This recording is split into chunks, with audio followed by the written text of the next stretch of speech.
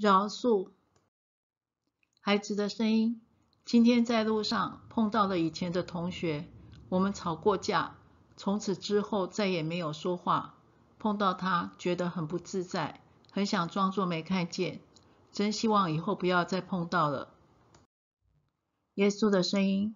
我创造人类的始祖亚当之后，我说那人独居不好，我要为他造一个配偶帮助他，所以我就创造了夏娃。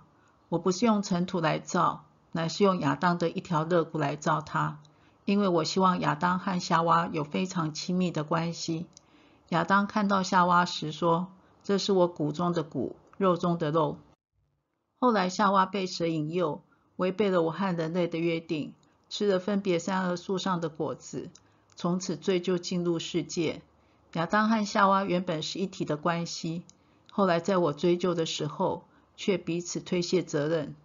我创造人类时，原本所希望爱的关系也完全被破坏了。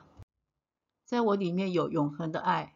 我来到世界为人类牺牲，就是在用我的生命换取人类和天赋和好，同时要恢复人和人之间对的关系。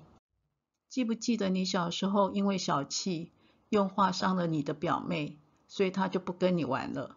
当时你说你很难过，不知道该怎么办。不知道下一次他还愿不愿意跟你玩？我要告诉你该怎么办。你在祭坛上献礼物的时候，若想起弟兄向你怀怨，就把礼物留在坛前，先去同弟兄和好，然后来献礼物。你要去跟你的表妹道歉，请她原谅你，跟她和好。我会祝福你，你们会比原先的关系还要好。当你这样做的时候，你不仅修复了你们之间的关系。也住在我的爱里面。你为什么和同学吵架？是为了真理吗？还是像小时候和表妹吵架一样，因为自私的关系？如果是这样，那是不符合真理的。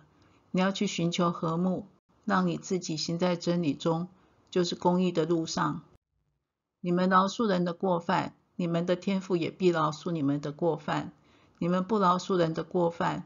你们的天赋也必不饶恕你们的过犯。当你犯错的时候，你会不会希望人家饶恕你？你会不会希望得到天赋的饶恕？